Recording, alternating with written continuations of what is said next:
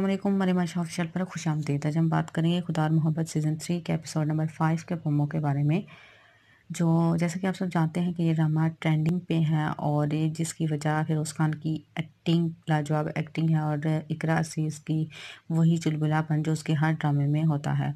और इसमें कुछ बातें जो एक बुज़ुर्ग हैं, उनकी जो कुछ दिल को छू लेने वाली और गहरी बातें हैं वो भी और इसका जो प्रोमो है और कुछ उसका ओएसटी जो कि बहुत ही ज़बरदस्त किस्म का है।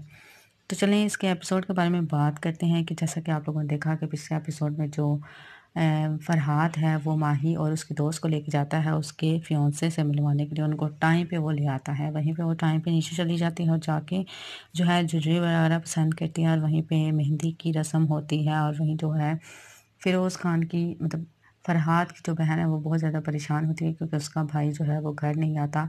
तो कहती है, पता नहीं अब इसकी वजह है काम या फिर जो है फिर किसी और ही काम में उसका, उसकी दिलचस्पी। तो वो ये सब बातें जो उसकी दोस्त और उसकी जो हमसाई होती है, जो कि फ़रहाद को शायद पसंद भी करती है, उससे करती है तो वो भी इस बात से काफ़ी परेशान होता है। वहीं पे जो रीता है, वो फ़रहाद को कहती है कि आप मेरे भाई हैं, क्योंकि मेरा भाई कोई नहीं है तो मुझे इस मौके पे बहुत ज़्यादा अपने भाई की याद आ रही है और आपने मेरे बाबा का बहुत ज़्यादा जो है, वो हेल्प की है।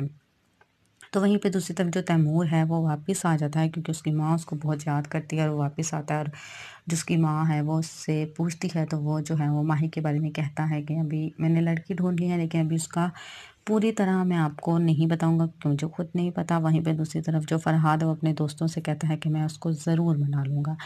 तो वहीं पे जो रिदा का बाप है, वो फिर फरहाद से बहुत ज़्यादा खुश होता है उसके काम से और उसको कहता है कि तुम बहुत अच्छे इंसान हो। तो वहीं पे दूसरी तरफ़ जो है फरहाद माही से बात करने की कोशिश करता है और जब वो कमरे में जाता है तो वो है जो उसको लगता है कि माही ने उसे बुलाया लेकिन ऐसा कुछ नहीं होता और जब वो उसके कमरे में जाता है तो उसे कहता है मुझे आपसे बात करना चाहती लेकिन उसे कहती है कि मैं तुम्हें ऐसा नहीं समझती होती यहाँ से मेरी आँखों से दूर हो जाओ जहीं वहीं पे जब रीता की बारात जो है वो चली जाती है माही भी उसके साथ जाती है और जो है फरहाद भी वहाँ पर आता है और उसको वहाँ से उस, उसके बाप से इजाज़त लेता है और उसको कहता है नहीं मैं पैसे नहीं लूँगा क्योंकि रीता को मैंने अपनी बहन कहा है। वहीं आने वाले एपिसोड में हम लोग देखेंगे जो तैमूर है वो अपनी माँ को बताता है कि जब मैं जाने लगा तो किस तरह मुझे एक बुज़ुर्ग ने मना किया था कि आ, तुम वहाँ पे ना जाना। तो वो उसकी माँ पूछती है किस बात से मना किया था? तो वो कहती है कहता है कि मुझे सफ़र से मना किया था। तो वो वहाँ पे वो परेशान हो जाती है। जब वो उस बुज़ुर्ग के पास जाती है तो वो कहती है कि हाँ तुम्हारे घर बारात आने वाली है और जो है कहानी है फिर से शुरू होने वाली है। वहीं पे जब फरहाद जाता है रिता के घर तो वो पूछता है कि आज क्यों इतनी जो है सन्नाटा है? तो वो बताता है कि जो माही है वो वापस चली गई और उसके जाने से हम खुद भी अदास हैं। वहीं पे जो फरहाद है वो अपने दोस्तों से कहता है कि मैं जाऊँगा, जहाँ भी हो मैं उसे ढूंढ लूँगा। उसके दोस्तों से कहते हैं, तुम कैसे उसको ढूंढोगे? तुम्हें तो कुछ पता भी नहीं है। तो वो कहता है, नहीं, मैं उसे ज़रूर ढूंढ लूँगा चाहे वो ज़मीन की किसी भी तह में हो।